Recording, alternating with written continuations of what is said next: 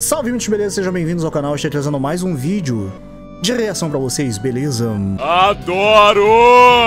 O fim do horror. Lá do canal do Pombo Atômico, bora continuar aqui essa história macabra do Bob Esponja e seus amigos, naquele mesmo esquema de sempre pra vocês verem minhas reações. Bora ver qual vai ser o desfecho dessa parada aí. Pela thumbnail parece ser uma coisa muito grotesca, muito bizonha mesmo, tá ligado? Muito sinistro. E pela thumbnail que eu tô vendo aqui do Bob Esponja, parece que ele tá meio que sendo tortu, né? Eu não vou falar aqui a palavra, talvez que o YouTube pode implicar, mas deve ser uma coisa muito grotesca. Talvez tenha alguma coisa aqui, um plot twist de repente envolvendo o Bob Esponja, sei lá. Mas bora ver aqui pra poder entender melhor essa história. Eu não vou enrolar muito porque o vídeo é longo, tá bom? Então só peço, por favor, para você deixar o seu like, se inscreva no canal, ativa as notificações para poder me ajudar.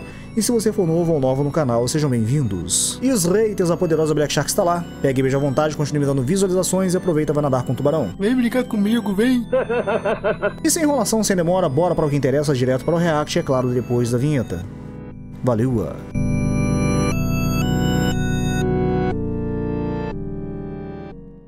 Então, antes de qualquer coisa, só queria pedir desculpa pela demora, porque eu tinha parte do roteiro pronta, assim Ok. como eu disse no último vídeo, não no último vídeo, que o último vídeo foi do Sorá, mas no vídeo antes desse. Só Ok. que, meus amiguinhos, eu acabei perdendo a, a primeira parte do roteiro. Então, é, eu tive que reescrever tudo do zero e eu realmente estou muito irritado por ter que fazer isso um pouco tarde e ter que atrasar toda a produção do vídeo e ter um cachorro latindo do fundo que não cala a boca. Não sei se vocês Ai, estão ai, ai. De qualquer modo, vendo. Sim, eu sei que eu sou um idiota, não precisa comentar isso aqui embaixo. Mais ou menos isso me deu uma segunda chance de dar uma melhoradinha na primeira versão do roteiro, que tava Não te chamo de idiota porque isso já aconteceu comigo, isso é uma coisa que pode acontecer com qualquer um, não se culpe, é complicado trabalhar com o que você trabalha.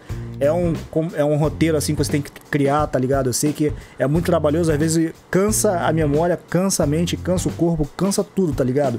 Então tem que ter muita paciência e muitas das vezes fazendo tudo sozinho, você acaba cometendo alguns erros. E infelizmente isso é inevitável. Tô falando isso porque acontece comigo de vez em quando. Eu mesmo tive que fazer uma parada no meu computador aqui que eu perdi praticamente tudo que eu tinha antigamente aqui no meu computador. Então acontece, infelizmente, né? Mas bora continuar. meio crua, então, sei lá. Não sei se essa versão aqui ficou um pouco melhor, mas se ela parecer um pouco estranha, vocês já devem saber o porquê. Porque meio Beleza. que eu tive que reescrever tudo nas pressas, senão isso aqui ia se atrasar mais ainda. Tranquilo. Bom, como foi citado nos vídeos anteriores, o Bikini Bottom Horror é uma fan webcomic publicada no site Sound Simulation, onde a gente observa uma realidade alternativa do mundo do Bob Esponja completamente insana, sério, Nossa, completamente maluca, insano, composta nossa. por violência e tudo que tudo que é de bom. Acontece que no último episódio, após ter sido capturada por cópias cultistas do Patrick, a Sandy finalmente descobre quais eram os planos por trás do misterioso processo de reunião. Ah. Acontece que naquele abismo tão belo e magnífico, cópias da estrela que haviam se alimentado da carne Nossa. dos cidadãos se entregavam para compor o corpo colossal daquele que havia sido torturado. Uma enorme representação cruel da fome e desejo de vingança daquele que sofreu por tantos anos. Uau, Na luta contra a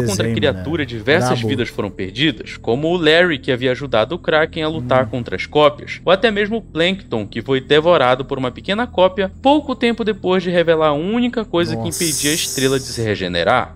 O fogo. Com o tempo, após o molusco perder um dos seus corações e Sandy ter que voltar para a superfície após perder seu capacete, não havia sobrado mais ninguém para impedir que aquele caos se espalhasse por todo o oceano. Isso é, até um certo alguém repentinamente renascer. Caraca, Ele mano. estava de volta. O Na última vez em que a esponja e o estrela se encontraram, um dos dois havia sido cruelmente assassinado. E naquele momento a situação não era tão diferente. O Estrela, justificavelmente surpreendido com a presença que havia o salvado, pergunta como aquilo poderia ser possível. Afinal, ele mesmo havia o matado. E aqui tá Hum. mais uma justificativa interessantíssima vinda diretamente da biologia real das esponjas do mar. De Ah. acordo com Bob, as estrelas do mar não eram as únicas criaturas marinhas capazes de se regenerar, até porque esponjas do mar também possuíam essa capacidade, só que em um patamar um pouco diferente. Eu ouvi dizer que a regeneração do Bob Esponja, é claro que isso é questão de desenho e tal. Alguém comentou, não lembro aonde, eu acho que foi até no último vídeo que eu reagi desse canal do Pombo Atômico falando desse, dessa história, falando que a regeneração do Bob Esponja é ainda melhor do que a do Patrick. E eu, não discordo, pelo menos parece, de fato, assim, pela, pelo pouco que eu me lembro, né, que essa questão mesmo realmente é muito melhor. É claro que no desenho, assim, original que a gente tá acostumado, não mostra muita coisa grotesca, tal, de ele perdendo membros e tal. No máximo, tipo, ele consegue tirar um braço assim, mas não com aquela coisa, tipo, ah, eu tirei o braço e saiu sangue pra caralho, não. É aquela coisa, tipo, ah, tipo aqueles bonecos do antigo, você tira, aí põe no outro braço, o outro braço bota aqui, ou então o braço bota na perna, a perna bota no braço, tipo, esse estilo, tá ligado? Então, é estilo cartoon, aquele Toon Force, lá, uma parada assim que eu ouvi dizer.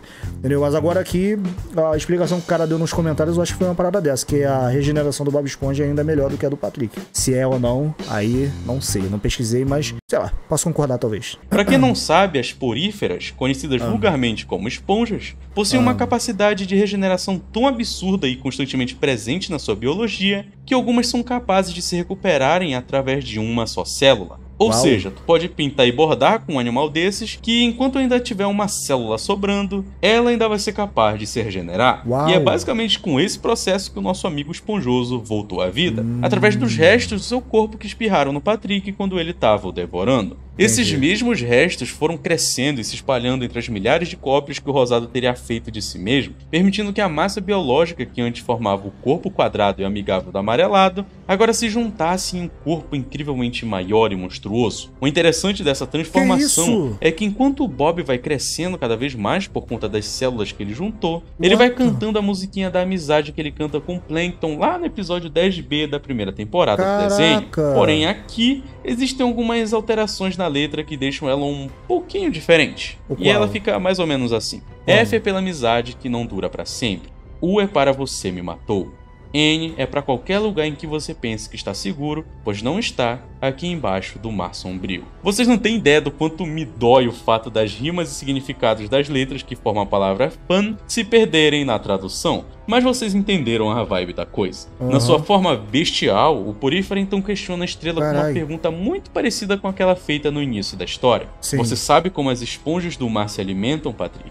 E assim como no início de tudo, o responsável pela pergunta não espera por uma resposta, declarando que iria demonstrar como o processo ocorria, fazendo isso da forma mais prática possível. Ele começa utilizando seus poros para absorver a sua comida para dentro da sua pele, tendo sua presa próxima o suficiente, seu corpo esponjoso realiza o processo de filtração para separar os nutrientes de qualquer material desnecessário. Nessa pequena demonstração, basicamente todas as cópias presentes na área foram simplesmente eliminadas, se transformando em apenas uma nuvem de sangue e dejetos que eram expelidas pelos poros da besta, com exceção do Patrick original, que por pouco é resgatado pelo Kraken. Após esse pequeno massacre inicial, Caraca, o então se vira pro pequeno Patrick, afirmando que havia apenas mais uma estrela para ser extinta, forçando o pobre Rosado a implorar por perdão, repetindo várias vezes que estava arrependido por ter permitido que tudo aquilo acontecesse. Meu. O que surpreendentemente faz com que a esponja responda que sabia muito bem que seu amigo estava arrependido. Mas aquele que havia sido torturado não estava. Naquele momento, o monstro não era apenas uma consequência dos atos cruéis do seu siriguejo, mas sim algo muito pior. Algo que precisava ser parado imediatamente. Caraca, o Molusco mano. brinca que até seria interessante ver uma luta até a morte entre as duas criaturas que poderiam facilmente se regenerar. Porém, eles ainda precisavam de algum plano para acabar com aquilo. E por Hum. sorte, eles ainda se lembravam de qual foi o único elemento que impediu aquele que foi torturado de se regenerar. O Que no fogo. caso é o fogo. Hum. Assim, tendo mais um aliado para atrasar a criatura e o conhecimento de como terminar de uma vez com aquele pesadelo, Aham. a luta final finalmente se inicia. Nossa, mano, que épico. Olha isso, cara.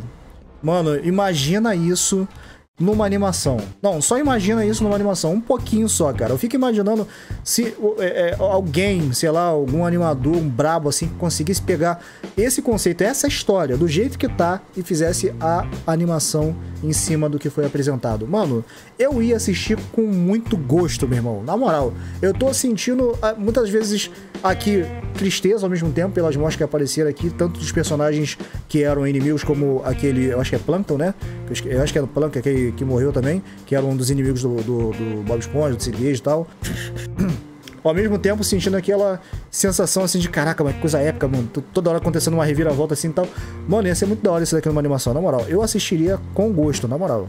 Antes da gente prosseguir, hum. a narrativa acaba mudando seu foco para um personagem que acabou saindo de cena alguns capítulos atrás, ah, que no caso é a Sandy. Naquele momento, ela se encontrava boiando no mar sem poder fazer nada, se culpando a todo momento por ter que sair da luta pelo simples fato de ser uma mamífero. Durante esse tempo de autodepreciação, ela percebe uma movimentação estranha na água. Repentinamente, algo grande começa a emergir, grande o suficiente para levantar esquilo com ele. Acontece que esse objeto misterioso se tratava do bote invisível do falecido Homem-Sereia, hum. sendo pilotado por um mexilhãozinho que não estava muito acostumado a pilotar. Aparentemente, ah. ele estava tentando chegar no Siri Cascudo, mas, por não ter licença para dirigir, pilotar hum. aquele bote com volante, painel e marcha invisível se mostrou ser um desafio muito grande. Ao ser questionado por Sandy, o sidekick então revela o que havia acontecido com seu parceiro, como ah. ele havia sido assassinado após usar uma máscara de estrela falsa que foi enviada do próprio Siri Cascudo, e como ele mesmo estava indo até lá para poder se vingar. Sandy acaba se lamentando por não poder ajudar sem seu equipamento de respiração, porém, por perceber o inflamável desejo de lutar daquela esquilo que nada tinha a ver com os pesadelos do mundo submarino,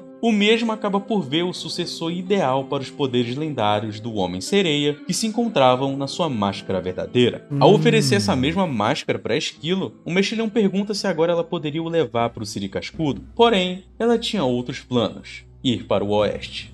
O retorno para a luta no fundo do mar é bem interessante porque reflete um pouco o que alguns de vocês questionaram bastante nos comentários do último okay. vídeo, que no caso está no momento que o Patrick se pergunta como eles iriam conseguir fazer fogo no fundo do mar. Porém né? o Molusco apenas responde com a frase: "Ah, então agora a física realmente importa". O que é muito bom porque retorna um pouco pro humor meio autocrítico que estava presente no começo da narrativa. Com isso, os dois começam a pensar em possibilidades viáveis de como trazer fogo para o mar, o que faz com que o Molusco aponte para o Monte Fenda do Biquíni, que seria um vulcão que estava adormecido há muitos anos. Faz e isso é tecnicamente canon no universo do Bob Esponja, porque esse vulcão apareceu no episódio 142B da sétima temporada e hum. também no musical de 2016. Eu não sabia disso, mas é bem interessante ver que o criador não tirou esse vulcão do nada. Legal. Surpreendentemente, o Patrick é o primeiro a ter uma ideia, sugerindo que para tirar o fogo do vulcão seria só mover a montanha para outro lugar. E por mais que essa ideia pareça idiota e simplista demais de início,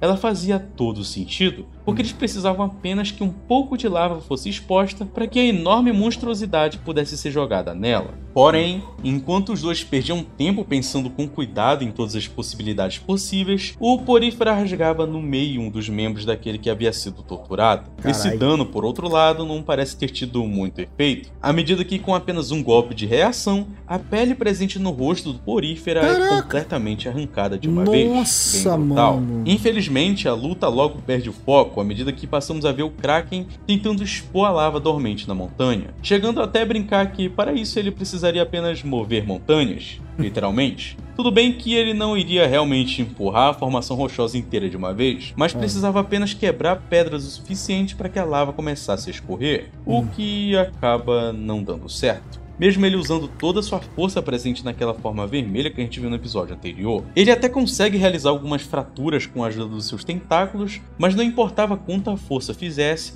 Sozinho, o Kraken nunca iria conseguir fazer o que era preciso. Ih, por sorte, esse não era o caso. O Kraken, mesmo sofrendo com o ostracismo aplicado por todos os moradores da cidade, ainda hum. assim deu tudo de si para salvar aqueles que haviam sido forçados a fazerem parte daquele massacre injusto. E todo esse sacrifício certamente valeu a pena. Vindo hum. diretamente do oeste, Esquilo Sereia e Mexilhãozinho retornam para a Fenda do Biquíni para se unirem aos esforços finais da luta contra a fome daquele que havia sido torturado. Bravo. Junto deles, o grupo anarquista da Sra. Puff compunha parte do exército daqueles que se recusavam a morrer daquela forma, trazendo consigo uma enorme máquina escavadora Caraca, prontinha para concluir o trabalho que o Kraken havia iniciado. Bravo. A cena era simplesmente deplorável. A enorme Bom. criatura amarela usava suas garras para rasgar a pele densa e rosada da estrela do mar gigante, utilizando seus poros para se alimentar do sangue e da carne que escorriam dessas feridas. Hum. Mesmo nessas condições, de alguma forma, Esquilo consegue reconhecer seu velho amigo, estando feliz por saber que o mesmo havia sobrevivido. Ela também hum. revela que o grupo havia trazido aquela máquina, pois coincidentemente eles haviam tido a mesma ideia que Patrick e hum. haviam roubado aquela máquina de escavação de uma plataforma de exploração de petróleo que ficava alguns quilômetros dali, brincando que, pela primeira vez, o petróleo iria salvar o oceano. Dessa Hum. forma, Esquilo se vira mais uma vez para seu amigo Molusco, agradecendo por ele ter salvado sua vida e reafirmando que estava ali para ajudar naquela luta, Hum. ele gostando disso ou não. Porém, apesar daquele reencontro ser muito bonito e ser bem legal ver o grupo todo se reunindo mais uma vez, havia um pequeno detalhe que todos haviam deixado passar. Para que a máquina pudesse realizar a perfuração exata no canal subterrâneo que continha lava, seria preciso que alguém a controlasse manualmente. Como a pressão no momento da operação seria absurda, a lava iria cobrir completamente a máquina, Nossa. acabando por matar quem estivesse lá dentro. A senhora Puff é a primeira a afirmar que não poderia colocar um membro do seu grupo para realizar a escavação. Por isso, o pequeno mexilhão se oferece para fazer o serviço, declarando que seria o que o homem seria também faria, e aquela iria ser sua última jogada para acabar Nossa, com o mal. épico, Mas mano. não havia tempo para elogios heróicos. Épico. Alguma coisa estava acontecendo na luta entre as duas monstruosidades. Repentinamente, um brilho anormal aos poucos ia surgindo entre os dois, engolindo o porífero aos poucos como se fosse algum tipo de material vivo extremamente forte. Tu se lembra como as estrelas do mar se alimentam? Hum. Aquele era o estômago do torturado, Cruzes. se expandindo cada vez mais para engolir todos de uma só vez. Caraca, Não havia mais mano. volta. A partir daquele ponto, todos precisavam assumir suas posições para que tudo ocorresse de acordo com o planejado. Esquilo Sereia e o Crack iriam tentar conduzir a batalha para uma posição mais adequada para o banho de lava. Hum. O grupo da Senhora Puff derrubaria o topo do vulcão, enquanto o mexilhão faria o sacrifício final, marcando seu Nossa. nome para sempre como um dos maiores heróis mar. Mano.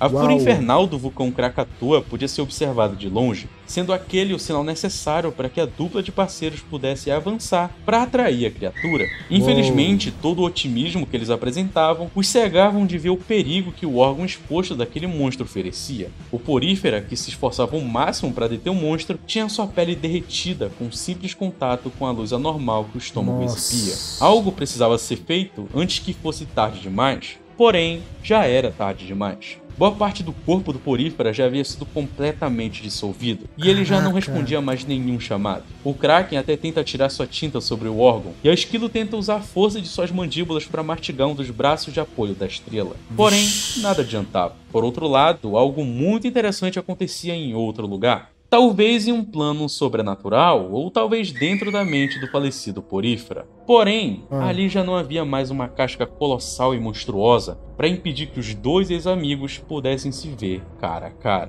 Naquela situação, completamente despidos de qualquer obstáculo físico que tornasse o conflito físico algo necessário, aquele que havia sido torturado transmite sua última mensagem. Bob Esponja, você não pode escapar. Dessa vez você vai ficar comigo para sempre. Esse é o momento em que você vai pagar o preço pelo seu descuido. Você devorou a minha carne por anos sem nem se preocupar em entender o que estava consumindo, mas a sua ignorância não absorve de nada. Assim que eu tiver absorvido cada célula do seu corpo, eu vou acabar com a Sandy, o Lula Molusco, toda a fenda do biquíni. Assim eu vou Nossa. crescer um exército de estrelas. Nós iremos nos espalhar por todo o oceano, consumindo tudo indiscriminadamente. Assim como você. Mas primeiro eu vou aproveitar despedaçando a sua mente. Nossa, Dizendo isso, mano. diversos anzóis descem da luz, atravessando a pele da esponja em Eita! uma única fincada. O que é uma clara Caraca! referência a Hellraiser junto ao visual do torturado, que lembra Ai. bastante a de um cenobita, mas isso é outra coisa. Talvez fosse pela dor extrema ou apenas pelo choque de toda a situação em que se encontrava, mas o esponja teve forças suficientes para dizer um único nome. Gary. O caracol também estava ali dentro de alguma forma, caminhando tranquilamente pelas costas daquele que havia sido torturado, dando uma Mano. forte mordida em seu pescoço, o que na realidade era apenas uma representação do dano que ele mesmo havia causado ao estourar o estômago da criatura usando uma agulha. Sandy explica isso ter acontecido por caracóis tritões serem predadores naturais das estrelas do mar, mas é Uhum. bem fácil pensar que ele conseguiu estourar o estômago facilmente porque o mesmo já estava bastante inflado, e é Hum. mais fácil estourar um balão completamente cheio do que um ainda murcho. A Skeleton Uhum. confirma que havia conseguido retirar o equilíbrio da enorme estrela e que precisava Ah. apenas de uma grelha para que pudesse começar a fritada. O Kraken então se lembra do efeito que a presença daquele que havia sido torturado causa na mente dos seres vivos. Então ele tinha plena noção de que o Porífera não estava morto, mas sim em um estado inconsciente de catatonia. Aquela era sua chance de se redimir por ter sido tão cruel com a pobre esponja em todos esses anos, implorando que ele acordasse, pois eles precisavam urgentemente de um mestre cuca. Bravo. Essas palavras tão simples podem não parecer muito motivacionais, Uhum. porém são suficientes para gerar um certo efeito, e aquele que havia sido torturado também percebeu isso ao implorar que o seu amigo não abandonasse. Com seus tentáculos, o Kraken consegue abrir uma fenda no solo, expondo lava o suficiente para que o Porífera realizasse seu golpe final.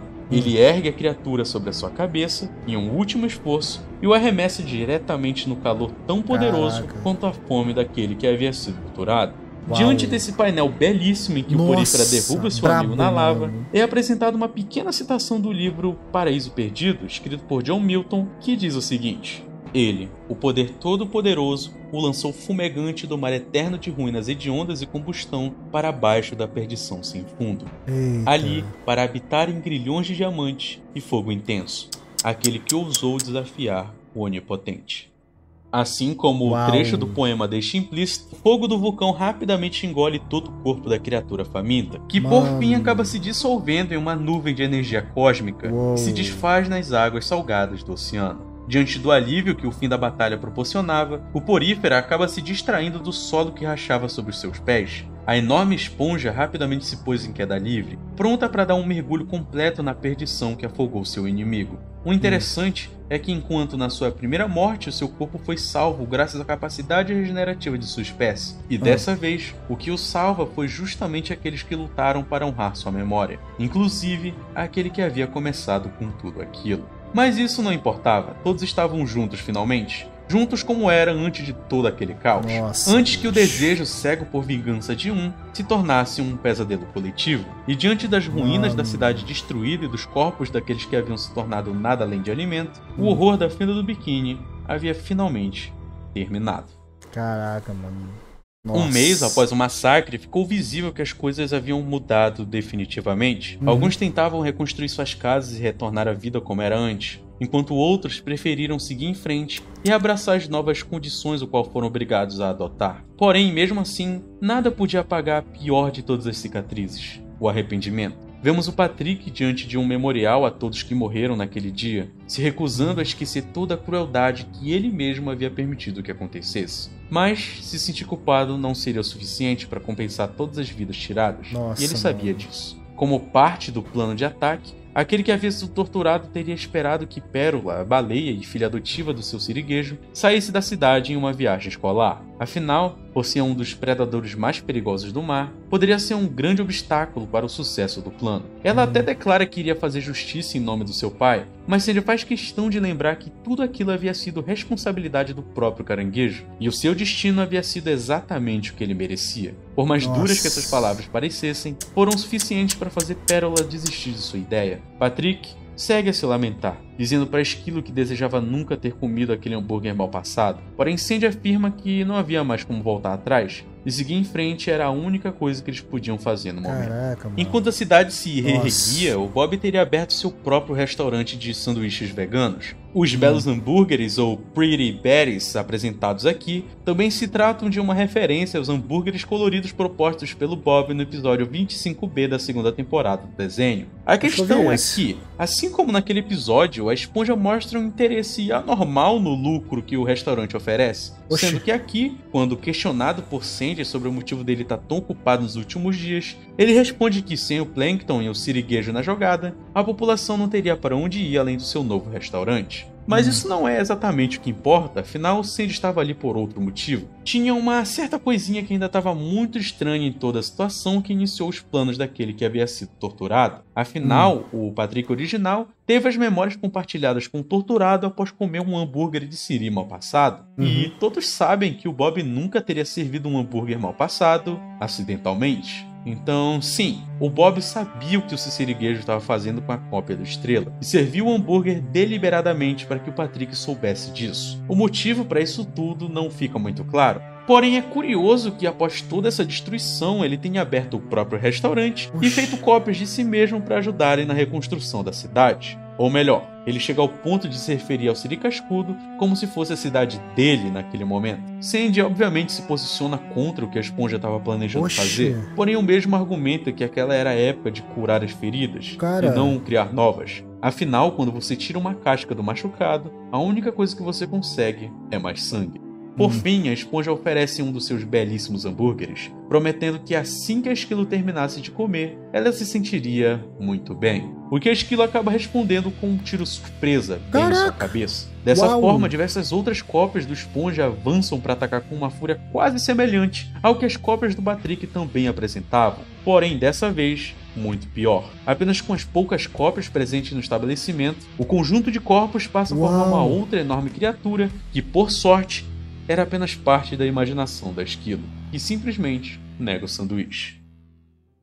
Nossa. Saindo daquele restaurante, Sandy ainda precisava se despedir de Caraca, mais alguém. mano. Seu amigo Brabo. Lula Molusco, que quase morreu diversas vezes apenas para salvar as pessoas ao seu redor. Ela Hum. lamenta internamente por não poder contar a verdade para ele. Afinal, ela possuía uma dívida altíssima com o Molusco por ter salvado sua vida pouco antes da batalha final. Hum, Porém, provocar um novo conflito que poderia ser até mais sangrento que o anterior seria uma péssima ideia. Enquanto É, é. pensava consigo mesma, um molusco surge próximo a ela. Seu Hum. corpo ainda estava razoavelmente modificado, pois demoraria um tempo até que ele retornasse à sua biologia original, Hum. não que fosse algo que ele realmente quisesse. Afinal, Maneiro. a forma de Kraken o permitia continuar lutando em defesa daqueles que não podiam fazer nada, Hum. como o herói que o mexilhãozinho teria sido. Mas um mexilhãozinho não seria tão icônico sem um Homem-Sereia ao seu lado? Ou melhor, a Esquilo-Sereia. Porém, ela também nega a proposta, afirmando que dessa vez ela precisava ser ela mesma. Por isso, precisava tentar reconstruir sua vida longe dali, no Texas,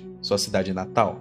Antes de se despedir, Sandy oferece um símbolo de sua gratidão, uma clarineta feita com a madeira da árvore que ficava em sua árvore domo. Um presente muito simples, porém que significou bastante para o molusco.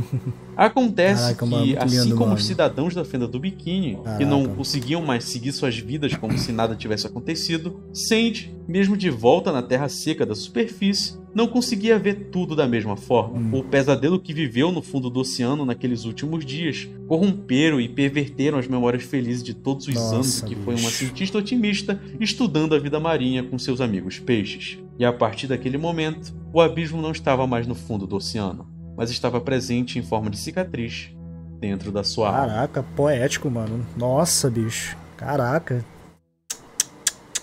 Que isso. Meus amigos, eu sei que muita Uau. gente. Eu até coloquei isso no Twitter, não foi essa semana? Que eu sei que muita gente vai. Vai não. Pode acabar reclamando do final, porque eu também tive um, um- essa mesma sensação. Eu tive um, um Hum. mixed feelings, tá ligado? Eu tive Uhum. uma sensação misturada. Eu não, não sabia muito bem o que sentir. Mas com certeza eu não fiquei decepcionado com esse final, sério. Eu simplesmente adorei todo o quadrinho. Não tem um ponto Aham. da história que eu acho que tenha ficado um pouco ruim assim, não, tá ligado? Eu acho que a, a história consegue se, se seguir muito bem. Porque, primeiro, desde o começo, a história não é perfeita. Tipo, desde o começo, a história é muito rápida, as coisas são bem simples. Então, a história tem, é, a história vai seguindo e Uhum. as coisas vão acontecendo da mesma forma. Então, a história se manteve fiel, tá ligado? Se manteve nível do começo até o final. Eu acho Uhum, isso bem, uhum. bem válido. Até porque, como eu disse, eu acho que eu falei isso no primeiro vídeo, não sei se eu falei isso, mas eu, eu tipo, eu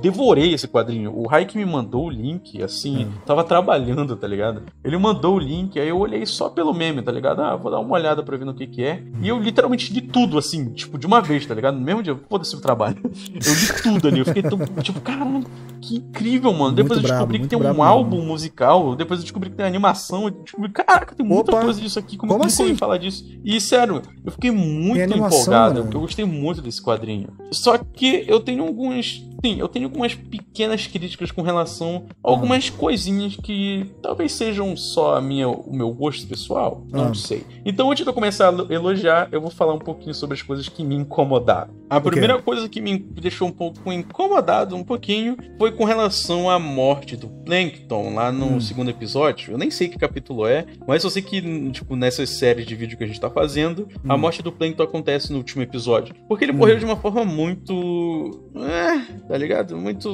Tipo.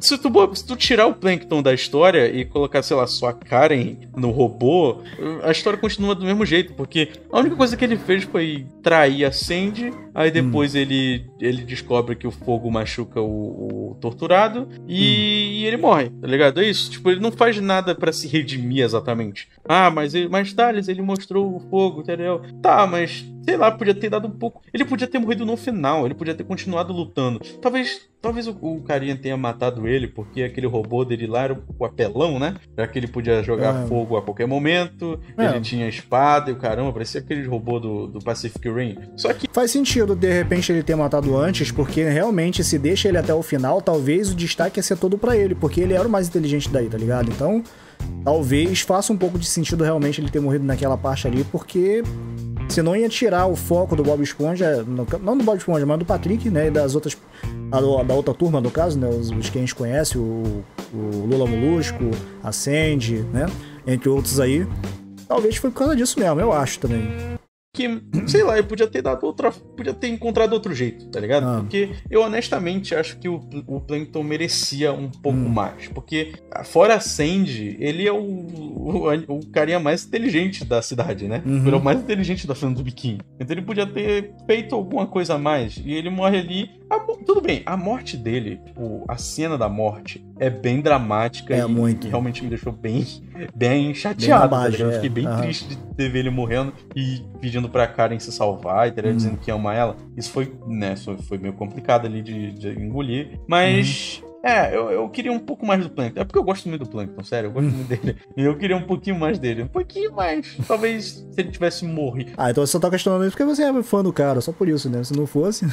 Tipo o Larry, né? Ah, não, não. O, o- Larry morre primeiro. Sei Ah. lá, não. O, o, o, o, Plankton podia ter morrido ali no final, junto com o, mexilhãozinho, tá ligado? Eles podiam ter feito alguma coisa, não sei. É, alguma coisa lá. juntos, Não- talvez. Não consigo pensar, de madrugada vou com sono.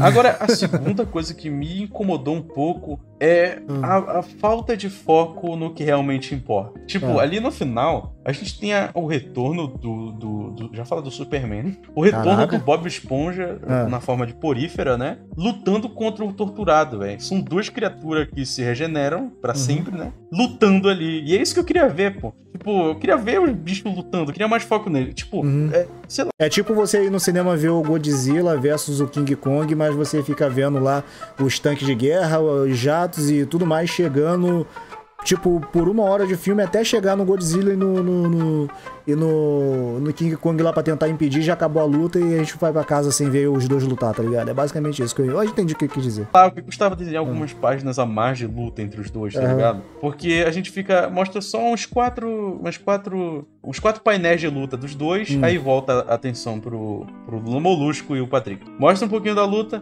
aí va- volta a atenção pra cima. Tipo, Nossa. cara, é, eu acho que. Não, o meu problema não é exatamente a falta de foco, mas a Hum. falta de, de atenção nesse momento, tá ligado? Uhum. Porque chega no ponto em que a luta tá rolando, a gente não tá vendo, e tudo começa a acontecer muito rápido. Eu honestamente acho que esse final é um pouquinho rápido demais. rápido, tá muito ligado? rápido. Porque o Porífera, o, o Bob Esponja aparece. Aí ele vira o Porífera. Aí eles Uhum. lutam. Aí o Patrick e o Bob. O, o Patrick e o Lula Molusco têm ideia de, de ver a montanha, de coisar a montanha. Aí chega a Sandy. Aí eles coisam a montanha. Aí Uhum. eles abrem. Aí o Bob Esponja entra lá na- naquele jogo mental lá com o Patrick, que é uma cena muito foda. Aquela Aham, cena dois muito. lá no lugar branco lá. Ah. Essa cena é muito legal. E na animação que os carinhas fizeram, eu não, sei- nem sei que canal foi, mas na animação essa cena é incrível. Mas foi muito rápido, tipo, é, narrativamente. Mano, que que um maneiro.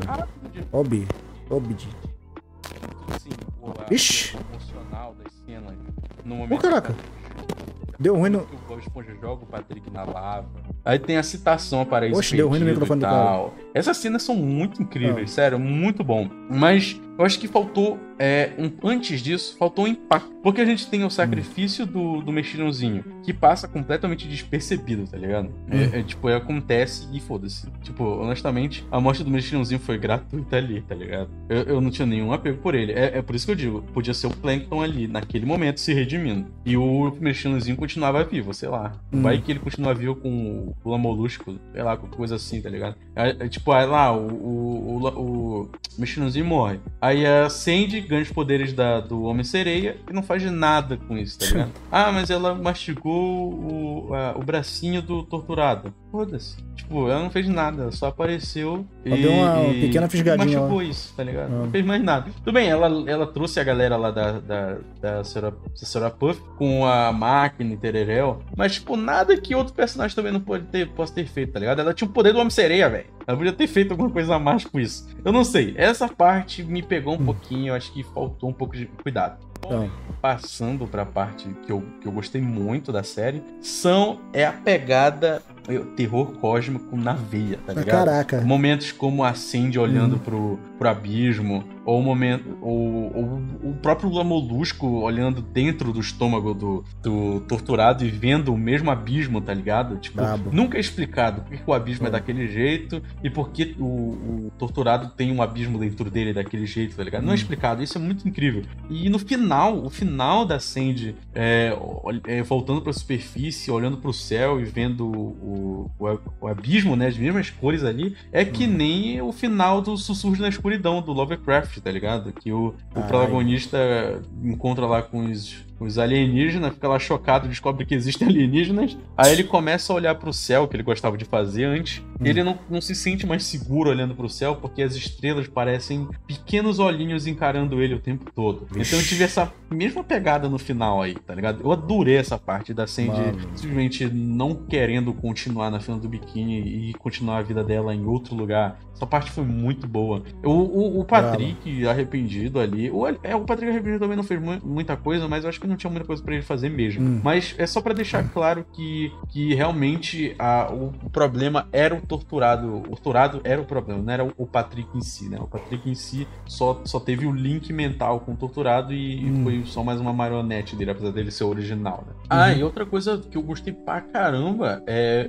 Claro, todo mundo. É óbvio que eu adoro a violência gráfica do quadrinho, Hum. entendeu? E eu adoro o, o, a- o traço do, do Nossa. que desenha, né? Eu nem, Brabo, mano. Nome dele. Muito Mas brabo. aquela cena, torturado, tipo, saindo do chão e o, e o, e o Lula Molusco na forma de Kraken, que já é gigante, olhando aquilo, assim, do tamanho de uma formiguinha, tá ligado? De tão grande que o torturado é, Uhum. é uma cena magnífica, tá ligado? Eu, eu Muito, queria muito, ter muito, aquela, muito. aquele Brabo painel demais. no quadro. Sério, eu queria muito. É sério, é muito bonito. É nível, Aham. nível Berserk, tá ligado? Tipo, parecia que eu tava vendo um, lendo um mangá de Berserk, tá ligado? Maneiro, tão bonito maneiro. que é o, o traço dessa cena. Realmente, é muito bonito sem mesmo. contar que outra coisa que eu queria elogiar bastante, que eu acabei citando ainda agora, sem querer, é com relação ao apelo emocional de certos momentos. Tipo, Hum. é, ah, tudo bem que algumas coisas parecem ser rápidas demais, outras coisas parecem ser um pouco rasas. Não. Mas sério, o, o, o, o, ele, o carinha que criou a, a HQ, né? Ele não é só um bom desenhista, como ele é um bom roteirista, sério. Os momentos lá do, do Lula Molusco se sentindo culpado de ter sido escroto com o Bob Esponja, ou o encontro do Bob Esponja com o, o torturado ali naquela cena,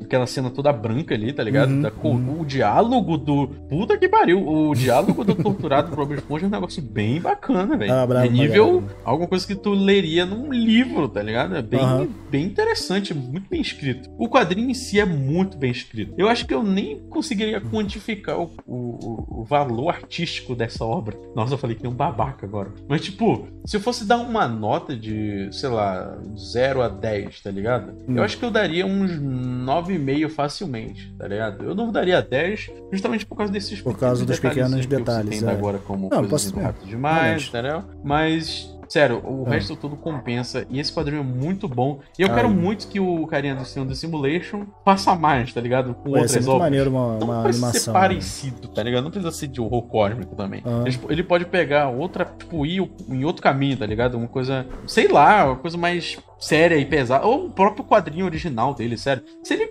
se ele produzir algo nesse nível, produzir alguma coisa nesse nível, Hum. eu juro que eu vou cobrir tudo, tá ligado? Porque o cara é muito talentoso. E eu tô pensando seriamente em ajudar ele no Patreon. E, sério, galera, se tu quer apoiar o maluquinho, se tu gostou dessa série, apoia o carinha lá no Patreon. Ou simplesmente comenta lá no, no, no site dele pra dar o apoio pro carinha. Porque, sério, Top. ele merece muito. Essa série é muito boa. Bom, e tá aí, gente, o Pombo Atômico trazendo para nós um pouquinho mais é, do horror que aconteceu na Fena do Biquíni. Finalmente aí, ó, agora são 10, é 11 horas da noite aqui pra mim, gente, que eu tô terminando de gravar o vídeo, ó, certinho, né?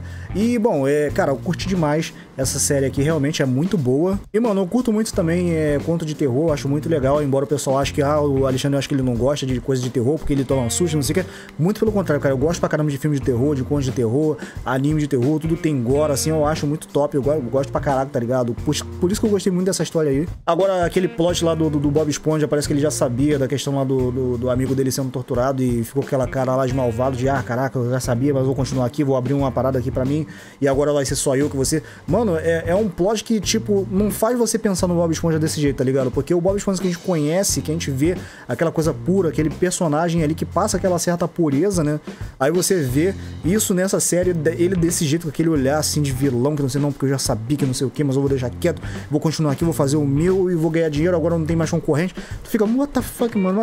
Tá ligado? É um negócio muito, assim, bizarro, tá ligado? Porque é realmente uma realidade alternativa de que a gente não viria, não veria isso daqui numa história, na história original, no caso, tá ligado? E, como eu falei, os sacrifícios que eu vi aqui, as mortes também. A do Plankton, talvez, eu, eu posso até concordar com ele, de fato ele poderia ter morrido um pouco mais pra frente, mas eu acho que se tivesse acontecido isso, o destaque ficaria muito nele, porque ele é um dos seres, se não o ser mais inteligente ali, porque eu, pelo que eu me lembro, depois não sei se depois ou antes da Sandy, sei lá. Mas é realmente, cara, a morte lá do, do daquele mexilãozinho, né?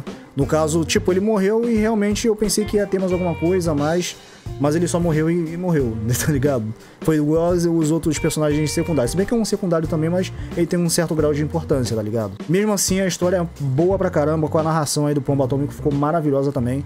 E, cara, eu não sei se aquela animação que ele mostrou de um canal, que eu esqueci o nome agora, eu vou dar uma olhada depois. Não sei se ele fez de tudo, acho que não.